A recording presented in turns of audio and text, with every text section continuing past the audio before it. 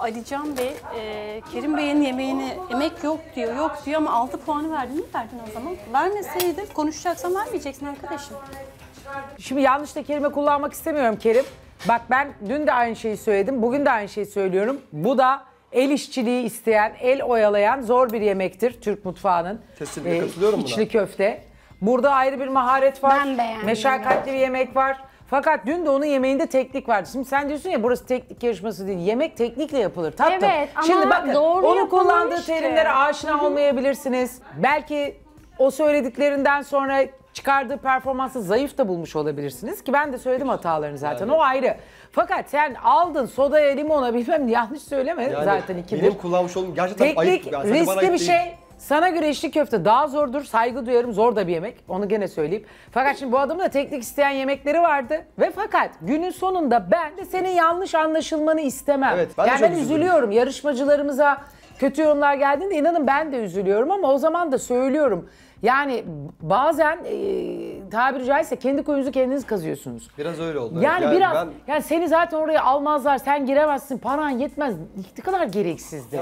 Ben e, açıklamak gereği duydum. Benim mesela orada e, benim çalışmış olduğum yerdeki yemekleri belki Alican Bey daha önce yememiştir. Öyle bir şey tercih etmez. Onda öyle bir kültür yoktur. Zaten verilen puanlardan ben bunu anlıyorum. Bu yüksek perdeden bakmak değil.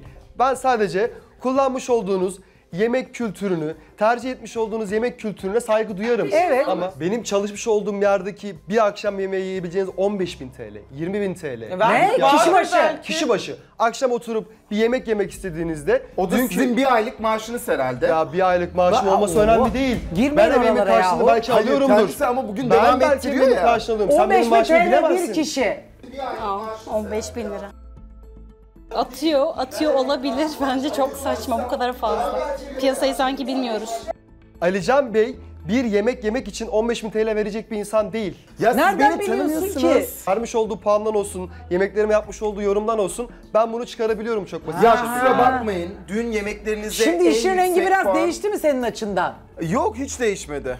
Be- beyefendi beni tanımıyor, ben onu tanımıyorum. Hala Evet, aynı burada durumdayız. ben, burada Yok tanıştım. O gerçekten aşırı pahalı olduğu için mi öyle söylemek istemiş? Yok. Ama gene de 15 öyle bin denmez. lira yok 20 bin lira. Bilmiyoruz kim nerede ne kadar par- para harcayabilir. Ee, ben şöyle yapacağım o zaman oturacağım.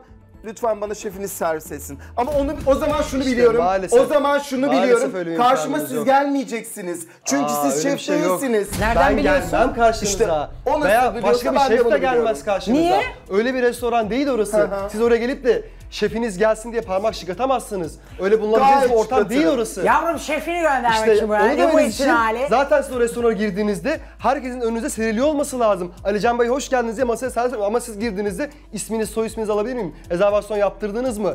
Burada işte şuraya oturmak ister misiniz diye Ben sorarlar. nerede çalışıyorum vallahi merak Ben ettim. anlamadım. Bir gidip şey yapasım geldi böyle şıt yapıp böyle çay verirsen falan Yani. yapıyorlar ya şimdi.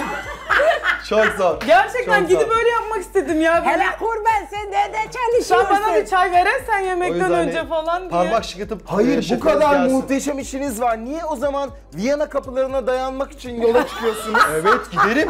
Tabii ki gideceğim. Madem Kendini muhteşem geliştirme. 15 mi bin gidiyor adam çalışmaya gidiyor sen Yani de Viyana sonuçta kapılarına Viyana kapı Osmanlı mıyım ben? Kuşatmaya Viyana kapılarına gidiyor. gidiyorsunuz nedir? Osmanlı mıyım ben Tövbeler, sonuçta? Dayanırım tövbe. kapılarına önemli değil de.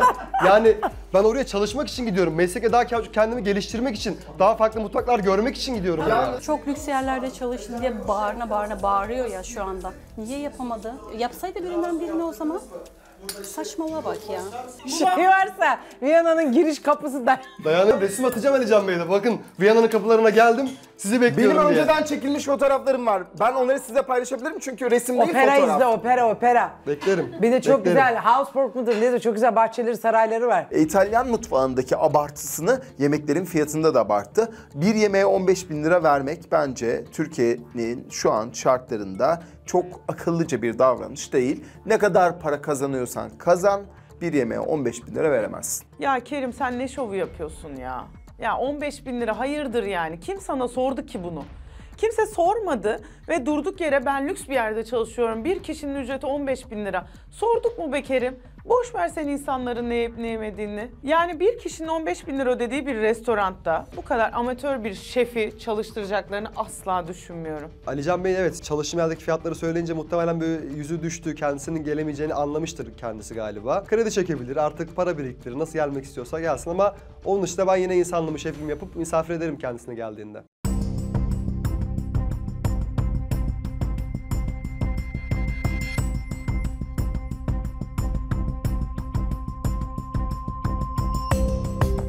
Arada bilmem hatırlar mısınız? Fatma diye bir yarışmacımız vardı. Bir ara ne oldu? Evet süre Ağrılı, kaç beyaz dakika böyle oldu? bir güzel bir büstiyeri vardı böyle. Bakalım. Hemen oldu geliyorum. Kaç dakika oldu? 6. dakikadayız Zuhal Hanım. Aa, öyle mi? Daha niye uzun geldi bize? 7. dakikaya girdi. Ama daha salata ve şeyimi birlikte getiriyorum yemeğimi. Ha, aferin. Peki Kerim, senin o kişi başı 15.000 TL tutan restoranda Evet Zuhal Hanım. sana sipariş verirken, işte garsonlara sipariş verirken bir müşteri diyor ki ben işte diyor bir Ne Restoranda bileyim. paramparça milföy yapıyorlar. Asla öyle bir şey yapmazlar. Ama ben gördük yaptım. ya, Ben sunmak neden ve sunmak 10 bin lira mı? istedim. Benim Ama orada o kendi 75 bin şeflerim lira var. Onlar etmez. tabakları söylerler. Kerim Bey, Bu artık şekilde açıklayın çalışacaksınız. ya. Hayır. Artık açıklayın. Canan Hanım. Hayır Ben diyor. o tatlıyı o şekilde sunmak istedim. Hayır, Kerim ben Bey, o tatlının dürüst olun. o Neden, şekilde neden, Ya neden? ben ya Zuhal Hanım şu- o şekilde Birkaç düzenleyip yapıncık düzgün bir şey yapmadım. Ben kırdım ve kırınca daha lezzetli olabileceğini düşündüm. Hayır. Koydum oraya. Siz koyarken, keserken kırıldı.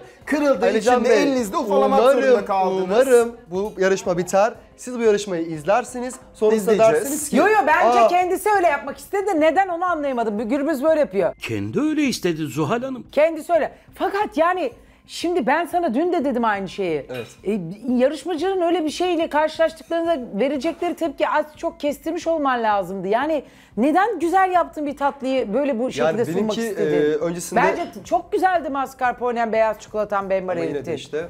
Kendinizi sabote Bence bu ettiniz. tamamen öngörüydü. O kesilirken kırılacağını öngördü. E, yok artık, sen de teknik bunu çevir. biliyor çünkü. Teknik bilgisi gereği o asla düzgün kırılamaz, Teşekkürler. kesilemez. Bari o kesilmeden rezil olmayayım Niye şeflerime. Alican ben Bey, elimle keseyim. Milföy'ü yapamaz Bey. mı ya? Alican Bey Kendini ben o bence tatlıyı daha önce çok sabote. defa yaptım. Hayır. Kestiğim zamanlarda oldu, kırdığım zamanlarda oldu. Ben bu yarışmaya geldiğimde tatlımın görüntüden ziyade o tatlı için konuşuyorum bunu sadece. Dedim ki lezzetine baksınlar, kremasına baksınlar. Milföy kesilmekten ziyade kırılınca daha çok parçalanır ve lezzet verir diye düşündüm. Böyle düşündüm işte bunu planladım.